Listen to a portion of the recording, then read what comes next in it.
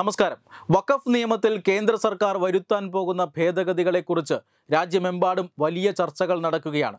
ഭേദഗതി നിയമം ഇപ്പോൾ ജോയിന്റ് പാർലമെന്ററി കമ്മിറ്റി അതായത് സംയുക്ത പാർലമെന്ററി കമ്മിറ്റിയുടെ പരിഗണനയിലാണ് അവിടെ പലതരത്തിലുള്ള അഭിപ്രായങ്ങൾ അവർക്ക് മുന്നിലായി വരുന്നുണ്ട്.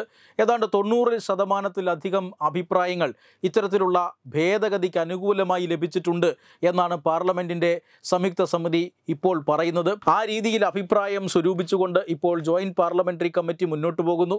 രാജ്യമെമ്പാടും ഇത്തരം ഭേദഗതിക്ക് അനുകൂലമായ അഭിപ്രായങ്ങൾ വരുന്നതിനു പുറമെ ഇത്തരത്തിൽ ബി ജെ പിയെയും അതുപോലെ തന്നെ കേന്ദ്ര സർക്കാരിനെയും എതിർക്കാൻ കഴിയുന്ന അല്ലെങ്കിൽ ആ രീതിയിൽ വിമർശിക്കാൻ പല എതിർപ്പുകളും പല രാഷ്ട്രീയ പാർട്ടികളും ഉയർത്തുന്നുണ്ട്. കോൺഗ്രസും കമ്മ്യൂണിസ്റ്റുകാരും എല്ലാം മുസ്ലിം മത ന്യൂനപക്ഷ വിഭാഗങ്ങൾക്കിടയിലുള്ള ഒരു കടന്നുകയറ്റമാണ് ബി ജെ പി നടത്തുന്നത് ഈ വഖഫ് നിയമ ഭേദഗതിയിലൂടെ. വഖഫ് ബോർഡിൽ അന്യമതസ്ഥരെ ഉൾപ്പെടുത്തിക്കൊണ്ട് നിയമനിർമ്മാണം നടത്തുന്നു. വഖഫ് ബോർഡ് തട്ടിയെടുക്കാനുള്ള അല്ലെങ്കിൽ വഖഫ് സ്വത്തുക്കൾ തട്ടിയെടുക്കാനുള്ള നീക്കമായി ഇതിനെയൊക്കെ കാണുന്നവരുണ്ട്. അത്തരത്തിലുള്ള പ്രചരണങ്ങളും നടക്കുന്നുണ്ട്. പക്ഷേ എന്തുകൊണ്ട് വഖഫ് നിയമ ഭേദഗതി അത്യാവശ്യം എന്ന ചോദ്യത്തിന് ഒരു കൃത്യമായ മറുപടി ഇപ്പോൾ വന്നിരിക്കുകയാണ്.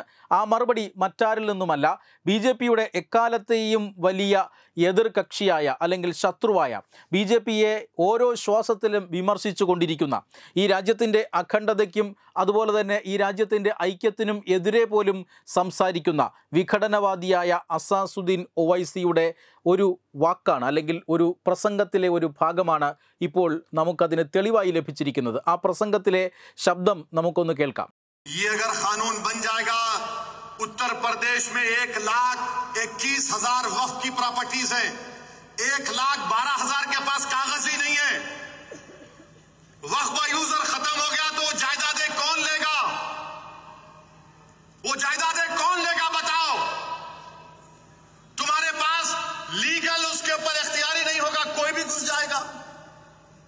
वक्त यूज़र निकाल दिए। ഇതാണ് അദ്ദേഹം പറഞ്ഞത്. ഇദ്ദേഹം നടത്തിയ ഒരു പ്രസംഗത്തിലെ ഒരു ഭാഗമാണ്. വഖഫ് നിയമ ഭേദഗതിക്കെതിരെയാണ് അദ്ദേഹം ഘോരഘോരം സംസാരിക്കുന്നതെങ്കിലും വഖഫ് നിയമ ഭേദഗതി എന്തുകൊണ്ട് അത്യാവശ്യം എന്നതിന്റെ ഉത്തരം കൂടിയാണ് ഈ വാക്കുകൾ. അതായത് അദ്ദേഹം പറയുന്നത് യു പിയിൽ ഏതാണ്ട് ഒരു ലക്ഷത്തി ഇരുപത്തി ഒന്നായിരത്തിൽ പരം വഖഫ് പ്രോപ്പർട്ടികളുണ്ട്. ഒരു ലക്ഷത്തി ഇരുപത്തിയൊന്നായിരം എണ്ണമാണ്. ഒരു ലക്ഷത്തി ഇരുപത്തി ഒന്നായിരത്തിൽ പരം വഖഫ് പ്രോപ്പർട്ടികളുണ്ട്. എവിടെ? യു പിയിൽ മാത്രമാണ്. ഈ ഒരു ലക്ഷത്തി ഇരുപത്തി ഒന്നായിരത്തിൽ ഒരു ലക്ഷത്തി പന്ത്രണ്ടായിരം സ്വത്തുക്കൾക്കും പ്രോപ്പർട്ടികൾക്കും രേഖകളില്ല. ഈ രേഖകൾ ഇല്ലാത്ത ഭൂമി ഇങ്ങനെ വഖഫ് നിയമ ഭേദഗതി വന്നാൽ വഖഫ് ബോർഡിൽ നിന്നും അന്യം നിന്നു പോകും. അതിന്റെ കാരണം വഖഫ് ബൈ യൂസർ എന്ന ഒരു സമ്പ്രദായം എടുത്തു കളയുകയാണ്. അതായത് വഖഫ് ബോർഡ് കഴിഞ്ഞ കുറേ കാലങ്ങളായി വച്ചനുഭവിച്ചു കൊണ്ടിരിക്കുന്ന സ്വത്തുക്കളാണ് എങ്കിൽ പ്രോപ്പർട്ടികളാണ് എങ്കിൽ അത് വഖഫ് ബോർഡിന് അവകാശപ്പെട്ടതാണ്. അതിന് അവകാശം ചൊല്ലി പിന്നെ ആരും വരാൻ പോകുന്നില്ല. അതായത് വഖഫ് ബോർഡ് ഒരാളുടെ സ്വത്ത് കയ്യേറുന്നു ഇത് തങ്ങളുടേതാണ് എന്ന് പറയുന്നു അത് കുറേ കാലം ഉപയോഗിക്കുന്നു ആരും ചോദ്യം ചെയ്തില്ല എങ്കിൽ അത് അവരുടേതായി മാറുന്നു. അങ്ങനെ നൂ ഒരു ലക്ഷത്തി ഇരുപത്തിയൊന്ന് പ്രോപ്പർട്ടികളിൽ ഒരു ലക്ഷത്തി പന്ത്രണ്ടായിരം പ്രോപ്പർട്ടികളും അങ്ങനെയുള്ളതാണ്. നമുക്കറിയാം ഉത്തർപ്രദേശിലെ ഗുണ്ടാരാജിനെ കുറിച്ചറിയാം ഉത്തർപ്രദേശിലെ ഗുണ്ട മാഫിയ സംഘങ്ങൾ ഏക്കർ കണക്കിന് ഭൂമി സമ്പാദിച്ചിട്ടുണ്ട്. ആ ഭൂമി എങ്ങനെയാണ് സമ്പാദിച്ചത് എന്ന് നമുക്കറിയാം. അവർക്ക് ഭരണത്തിലുള്ള സ്വാധീനം ഉപയോഗിച്ചുകൊണ്ട് പാവപ്പെട്ടവരുടെ ഭൂമി അവർ തട്ടിയെടുക്കുന്നു. ഇങ്ങനെ തട്ടിയെടുത്ത ഭൂമി അവർ മസിൽ പവർ ഉപയോഗിച്ചുകൊണ്ട് അവരുടെ സ്വത്തുക്കളാക്കി മാറ്റുന്നു. യോഗി ആദിത്യനാഥ് സർക്കാർ അധികാരത്തിൽ വന്നതിന് ശേഷം ഇത്തരം മാഫിയ സംഘങ്ങളെയൊക്കെ അടിച്ചമർത്തുകയും അവരിൽ നിന്നും ഭൂമി തട്ടിയെടുക്കുകയും അത് പാവങ്ങൾക്ക് വിതരണം ചെയ്യുകയും ചെയ്തിട്ടുണ്ട്. ഇതേ മാതൃകയിൽ തന്നെയാണ് വഖഫ് ബോർഡ്. വഖഫ് ബോർഡിന് കിട്ടിയിട്ടുള്ള ചില അമിത അധികാരങ്ങൾ ഉപയോഗിച്ചുകൊണ്ട് അവർ യു പിയിൽ പാവങ്ങളുടെ സ്വത്ത് തട്ടിയെടുത്തിട്ടുണ്ട്. ആ സ്വത്താണ് ഈ പറയുന്ന രേഖകളില്ലാത്ത സ്വത്ത് എന്ന് നിസ്സംശയം പറയാം. അതായത് വഖഫ് ബോർഡിന്റെ കയ്യിലിരിക്കുന്നത് തീർത്തും ഇല്ലീഗൽ പ്രോപ്പർട്ടിയാണ് അവർക്ക് കൈവശം വയ്ക്കാൻ യാതൊരു രേഖാപരമായ അധികാരവും അവകാശവും ഇല്ലാത്ത സ്വത്താണ്.